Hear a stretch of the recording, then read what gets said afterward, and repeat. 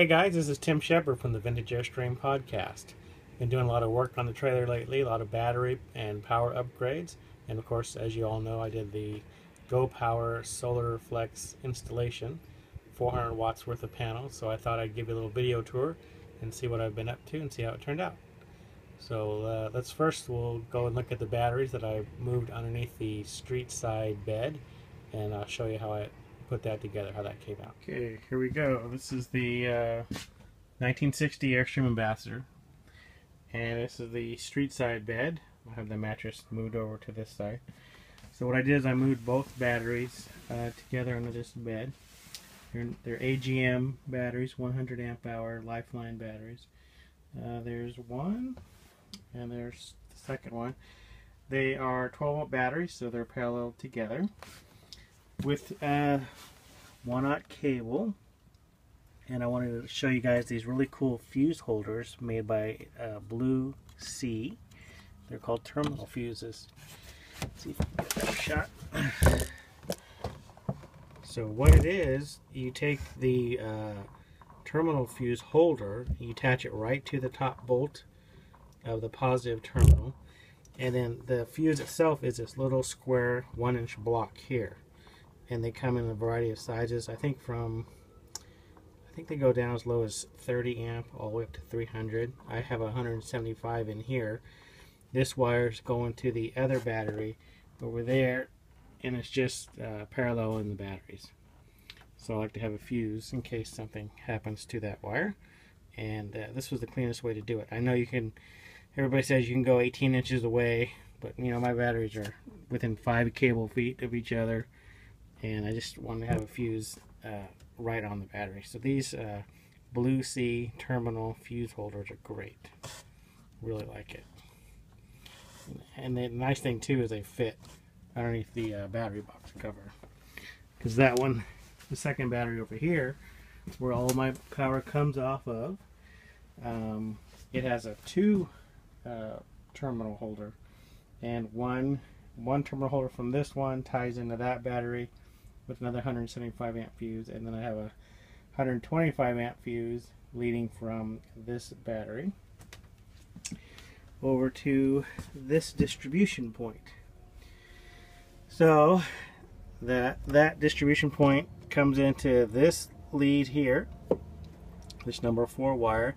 These fuses, and they tie into the three different fuse blocks that I have uh, in the trailer. I have, uh, there's one fuse block here, there's one underneath the front, uh, near the front couch, and then one on the curbside bed. And then this fuse holder here takes power in from the converter and then power in from the solar charger to um, charge the batteries. This here is a 500 amp shunt and it is used to feed information to the trimetric battery monitor all power goes through these grounds. This ground here comes from that battery and goes through the shunt and then all other cabling here uh, for the whole trailer goes through that shunt so that the trimetric can read everything coming in and out of the batteries. So that's pretty much up for those wiring upgrades. Didn't seem like much, but it's a lot. Of, was a lot of work. Okay, let's look at the, the Go Power Solar Flex panels. Got this ladder set up here so we can climb up and have a look. Let's see, so I have four panels. I have two there and I have two in the front. And the way it works is uh, you can easily tie two panels together with a bridging connector uh, that comes with the expansion kits. Normally you buy one kit, it comes with a solar panel, controller, and a cable. And then when you want to expand beyond one panel, which is 100 watts, you get an expansion kit. The expansion kit comes with another panel and bridging clips uh, that bridge the two uh, panels electrically together. And uh, when you go beyond two panels, it gets a little more complicated. You have to um, build some kind of junction box and I'll show you that in a minute. So that's all it is. You can see there's still quite a bit in the shade I'm doing this, uh, my house is blocks the morning sun. So I only have, uh, I don't know, two thirds of power available coming in. So the main lead comes in here, see if I can get a shot, through the refrigerator. That's what feeds the refrigerator, refrigerator vent. That's what feeds the uh, power to the trailer. I'm just going to hold this over, see if you can see that coming in. Um, and I just held the wire down with uh, foil tape, aluminum foil tape. And the panels are actually mounted with a 3M uh, VHB very high bond uh, tape. Um, can't remember which model it is. I'll put it in the description. Uh, I was going to also put some sealant around it, some Sikaflex, uh, but I contacted 3M and they said there's no need for that. You don't need to protect their uh, tape from water or UV rays. So uh, I'm just going to go with it like this. It's got a real clean edge and I don't want to mess that up. I like it. So that's it for the install. No holes on the roof. Okay, so we'll, we'll go back inside and uh, look. So just go over it again. The uh, wiring from the from the panels on the roof, they come down through the refrigerator vent. Uh, there I use some Blue Sea uh, bulkhead terminals that um, allowed me to drill holes through the side of my vent and um, put in these terminals, uh, these bulkhead terminals, to allow the uh, connection point at the roof.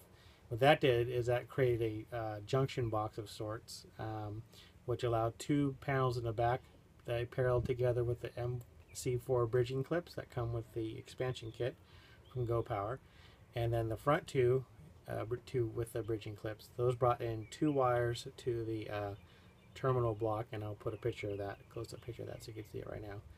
And um, from there, that other side of the terminal, the bulkhead terminals, I ran a number six wire down the refrigerator vent into the trailer and uh, up to the point where it meets the charge controller.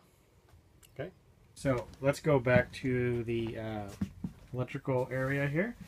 Uh, the solar panel wiring uh, comes into this uh, another Blue Sea device. I guess I like Blue Sea stuff. That's a um, 30 amp circuit breaker, but really in the configuration I'm using it, it's really just for a maintenance cutoff switch because as long as there's sun, there's going to be power on this wire coming in. So if I needed to pull the uh, charge controller out to um, to do any kind of work on it, I'd have to either put some kind of blankets over the panels or wait till nighttime or whatever. And with this, I can just uh, turn it off, a disconnect, and be able to pull the uh, charge controller out. The reason it's not really protecting anything because you always should protect power sources at the uh, you should put the fuse or circuit breaker at the power source. So that really should be on the roof if I'm worried about protecting the panels. Because even though they are solar panels, you do not want to short them out. You can blow the internal diode inside of them if they're generating power. So you have to be very, very careful about both polarity and uh, not shorting them out. So it basically, this is just a, uh, a maintenance cutoff switch for me. So this wiring goes into the closet there where I mounted the charge controller. And the reason I mounted it over here instead of in my pantry panel is because it really needs to be as close to the batteries as possible. You want to limit those cable runs. Okay, here's the uh, the Go Power charge controller, and it has uh, it's a 30 amp uh, PWM pulse width modulation uh, controller. And basically what that means is it charges the batteries by turning the uh, solar panel, solar power on and off very rapidly depending on how much the batteries need to be charged. It is a three or four state charger. It'll do a rapid charge, a uh, standard charge, and a, like a maintenance charge. It'll also do equalize uh, lead acid batteries um, once a month, but that's not, it won't do it for, of course, AGM batteries, which don't require it. Um, it has a uh, maximum power boost mode, so at the end of the day, you can push and hold this button here, A, and it will cause this to uh, charge the batteries up uh, at about 14 and a half volts for I think 30 minutes to try and get the most out of the stun. You might do it toward the end of the day, get the most power into your batteries as possible before the sun goes down. Um, so you can cycle through using B. This is volts, 13 and a half volts on the uh, batteries. Uh, the batteries are, of course, 100% charged. They have been for a while. And this is the number of amps coming in from the solar panels. I got 14 and a half, 14.4 amps coming from those partially shaded panels, 400 watts. These panels should, in full uh, sunlight, uh, and of course you have to need to draw it because it's not going to uh, just shove power in here. So you have to have uh, a reason to draw it. So if you're drawing current like I am on purpose, having all these lights on, um, it could supply, I think, up to about 23 amps from these 400 watts. Each panel's, I think, rated about 5.6 amps. So um, there you go. It's it's been working great. Uh, like I said, I haven't had to have my uh, charger converter plug in at all. So we are charging almost 15 amps. We're coming in from the sun right now. And like I said, the panels are still partially shaded on the roof. So I have all the lights in the trailer turned on. And uh, like I said, they're filament bulbs. And evidently those and the Wi-Fi Ranger and the detectors and whatever other parasitic loads I have are drawing uh, 15 amps. Okay, so that's all coming from the sunlight from the 400 watts. Now let's go look at the trimetric, which will tell us the net power use. Okay, so 0.4 amps is going back into the battery. So we're running all these lights and we're charging the batteries. And like again, the uh, the charge converter, the AC converter is not not uh, plugged in. So this is all from solar. So there you go. That's what solar can do for you. Um, batteries are of course full. 12.9 volts and now we're getting 0.7 amps of charge probably the sun is coming up over my house and getting the panels and more sunlight.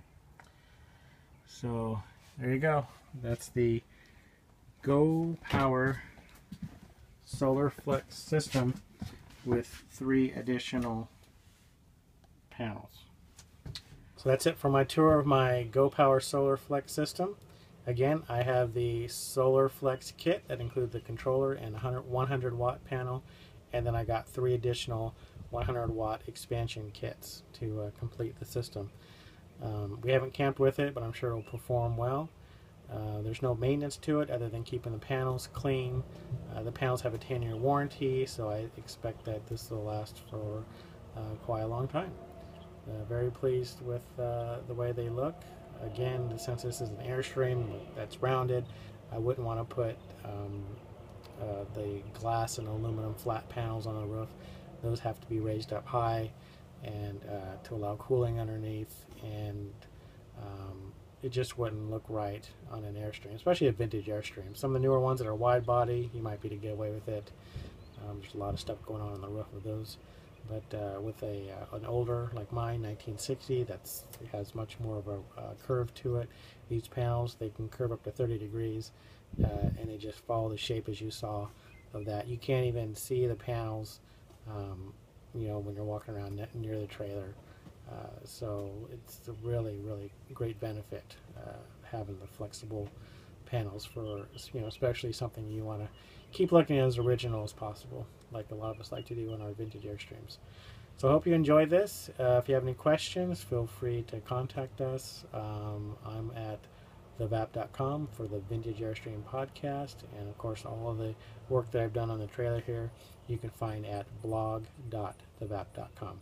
All right, thanks.